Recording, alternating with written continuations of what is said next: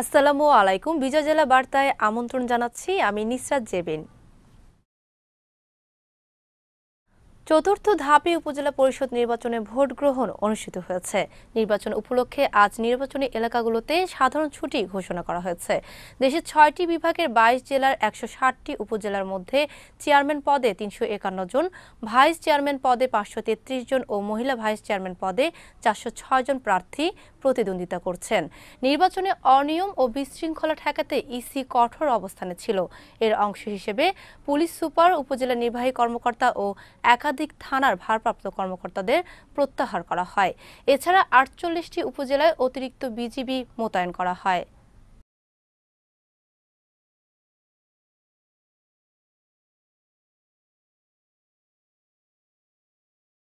মানসম্মত শিক্ষার উন্নয়নের জন্য সরকার ব্যাপক পরিকল্পনা নিয়ে কাজ করছে বলে জানিয়েছেন শিক্ষামন্ত্রী ডাক্তার দীপমণি।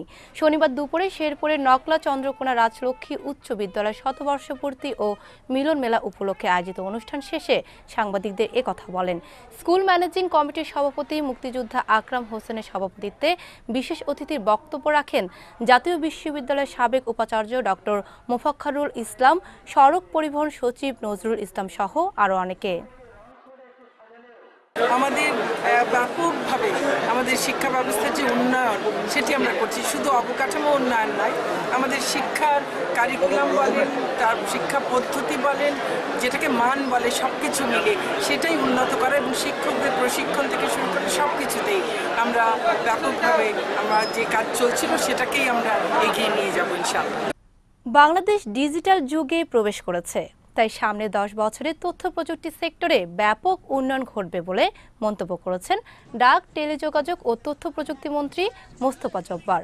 শনিবার বিকেলে সিংড়া থানার একশো পঞ্চাশ বছর উদযাপন উপলক্ষে সিংড়া কোর্ট মাঠে আয়োজিত সমাবেশে তিনি কথা বলেন।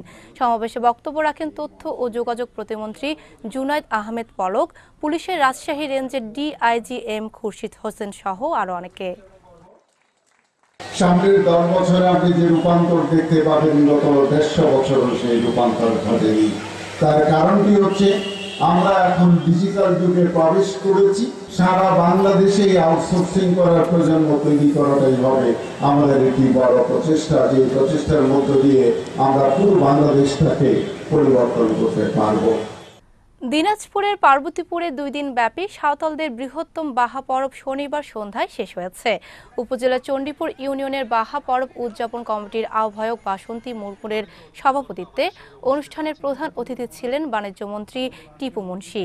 বিশেষ অতিথি ছিলেন দিনাজপুর পাঁচ আসনের সাংসদ মোস্তাফিজুর রহমান, দিনাজপুর জেলা প্রশাসক মাহমুদুল আলম সহ আরও অনেকে।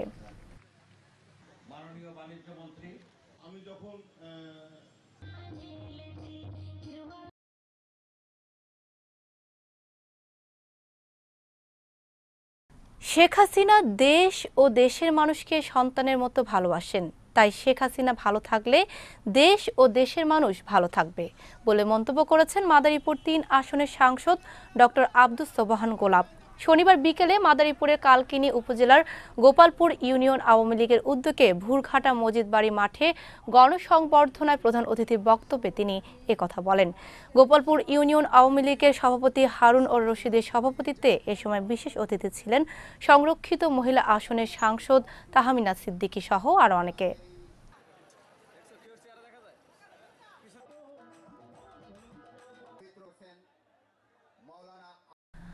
স্বাধীনতা দিবস কেরম টুর্নামেন্টের সমাপনী অনুষ্ঠান সকালে মাওলানা ভাসানী স্টেডিয়ামে অনুষ্ঠিত হয়েছে।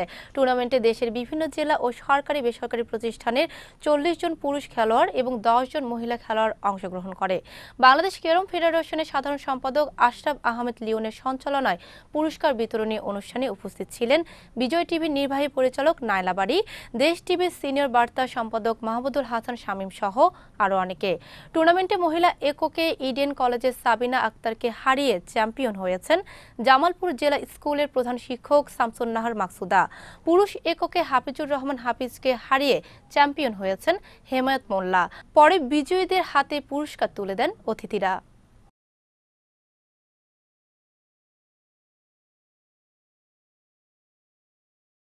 গাজীপুরের কাপাসিয়ায় সাংবাদিকদের পেশাগত দক্ষতা বৃদ্ধির লক্ষ্যে তিন দিন ব্যাপী কর্মশালা সম্পন্ন হয়েছে।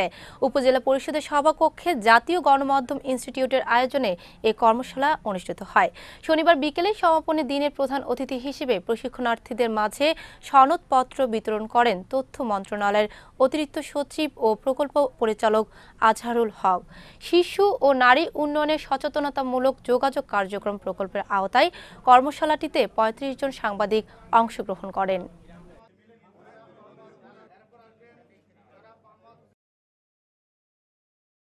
মালয়েশিয়ায় স্বাধীনতা দিবস উপলক্ষে দোয়া ও আলোচনা সভা করেছে বাংলাদেশ আওয়ামী লীগের মালয়েশিয়া শাখা ও তার অঙ্গ সংগঠন।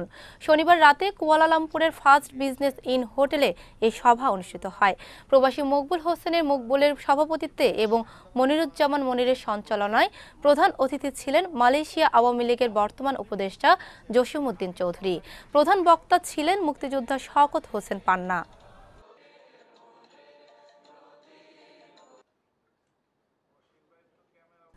টাঙ্গাইলের মির্জাপুরে একশো বিশটি ভোট কেন্দ্রের মধ্যে অধিকাংশ ভোট কেন্দ্রে ভোটার উপস্থিতি ছিল কম। মির্জাপুর থানার officer in charge A K M Mizanul Haque Mizan জানান, একশো বিশ কেন্দ্রের মধ্যে সত্তর কেন্দ্রে ঝুঁকিপূর্ণ হিসেবে চিহ্নিত করে বিপুল সংখ্যক আইন শৃঙ্খলা রক্ষাকারী বাহিনী মোতায়েন করা হয়েছে। ফলে ভোট কেন্দ্রগুলোতে তেমন কোনো বিশৃঙ্খলা তৈরি হয়নি।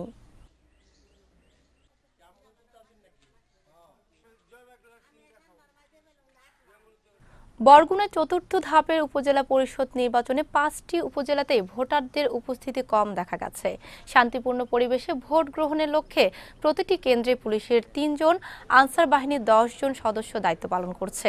প্রতি তিন ইউনিয়নে একজন ও পৌরসভায় একজন করে নির্বাহী ম্যাজিস্ট্রেট দায়িত্ব পালন করছেন। এবার বরগুনা সদর উপজেলায় সহ পাঁচটি উপজেলায় চেয়ারম্যান পদে ১৩ জন, পুরুষ ভাইস চেয়ারম্যান পদে বাইশ জন, মহিলা ভাইস চেয়ারম্যান পদে চোদ্দ জন প্রার্থী প্রতিদ্বন্দ্বিতা করছেন 称。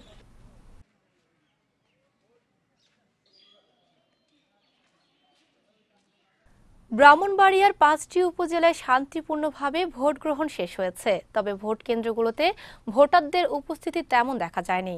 শান্তিপূর্ণভাবে ভোট গ্রহণের লক্ষ্যে প্রশাসনের পক্ষ থেকে কেন্দ্রগুলোতে নেওয়া হয়েছে কঠোর নিরাপত্তা ব্যবস্থা। ছয় উপজেলায় মোট ভোটার সংখ্যা তেরো লাখ বিয়াল্লিশ হাজার পাঁচশো বারো জন। এবার জেলার পাঁচটি উপজেলার চেয়ারম্যান পদে আঠারো জন, ভাইস চেয়ারম্যান পদে উনত্রিশ জন এবং মহিলা ভাইস চেয়ারম্যান পদে বাইশ জন প্রতিদ্বন্দ্বিতা করছেন।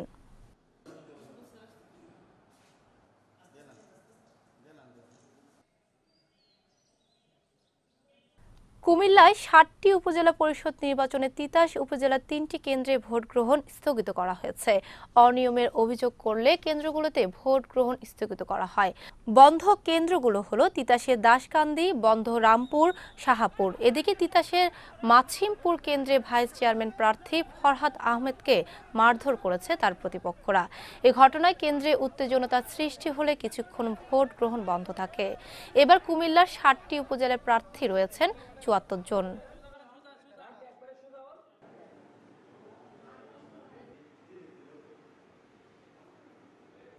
দর্শক, বিজয় সংবাদের বিস্তারিত জানতে ভিজিট করুন www.bijoy.tv এই ঠিকানায়।